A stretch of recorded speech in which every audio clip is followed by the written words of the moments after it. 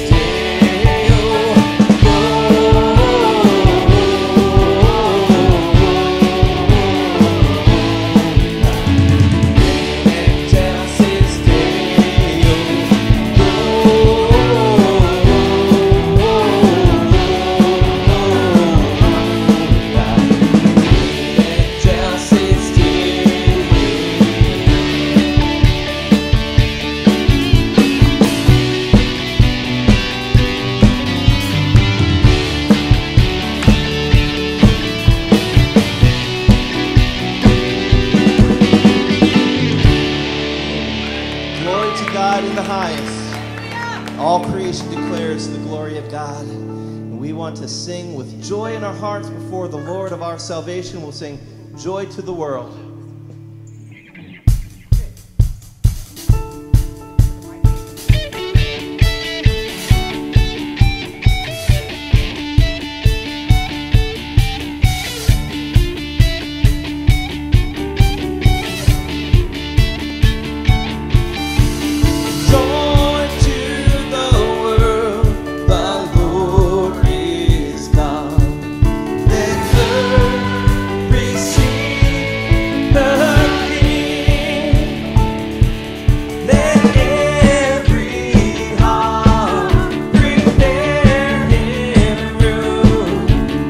Yeah.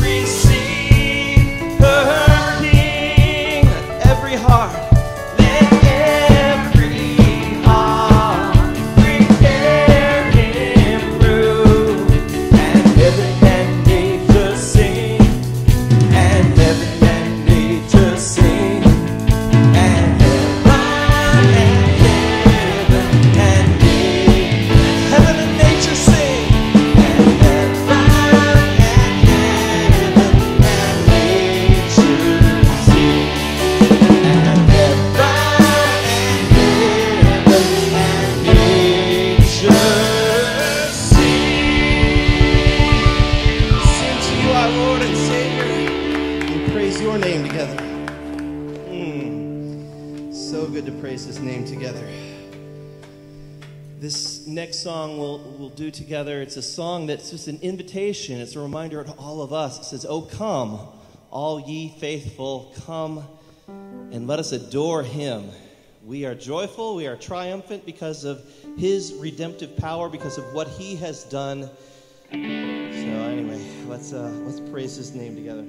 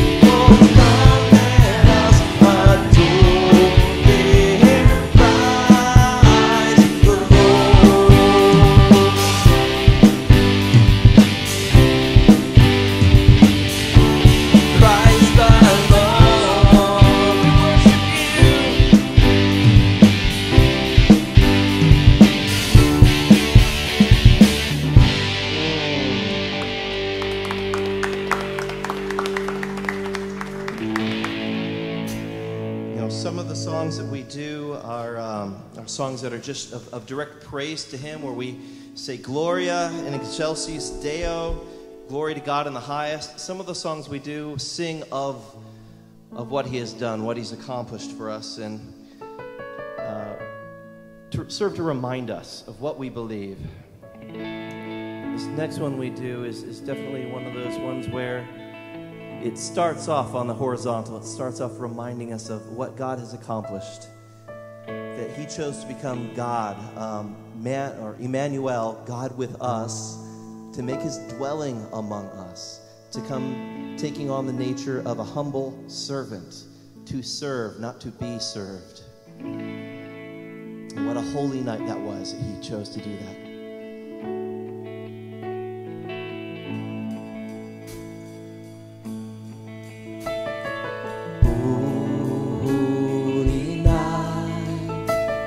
The stars are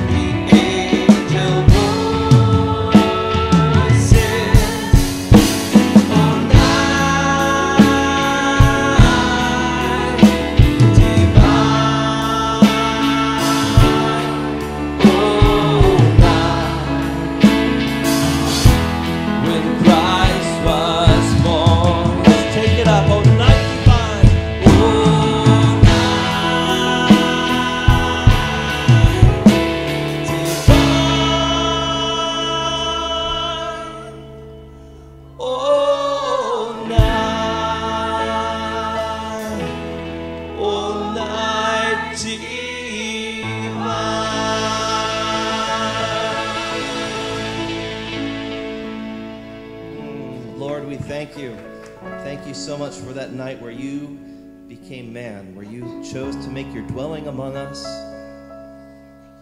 You sacrificed so much. You came here to take on the nature of a servant. You humbled yourself and you set an example that we commit to follow, Lord. We commit to setting the needs of others ahead of ourselves, especially in this season where you showed us what true generosity is. We are so thankful to belong to you, Lord Jesus, redeemed by your name, adopted into your family, your children, brothers and sisters here in this place. We are so thankful for you. Thank you for Christmas. Your church says, Amen. God bless you, church. It's wonderful to praise his name alongside you. Would you please go find someone, make them feel very welcome, and see what they're doing this Christmas season?